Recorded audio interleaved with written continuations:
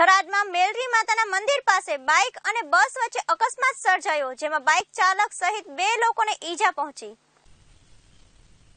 થરાદમાં bike અને બસ વચ્ચે ગમખવાર અકસ્માત સર્જાયો હતો.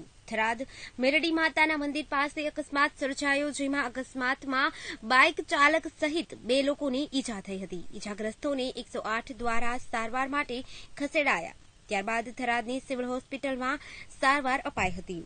અને એસટી બસના અધિકારી દ્વારા પોલીસને જાણ કરવામાં આવી હતી. ત્યારે પોલીસ ઘટના સ્થળે પહોંચી હતી અને એટી વિભાગના અધિકારીઓને જાણ થતાં ઘટના સ્થળે દોડી આવ્યા હતા. Hajaji Rajput, KTV news Gujarati, Tharad.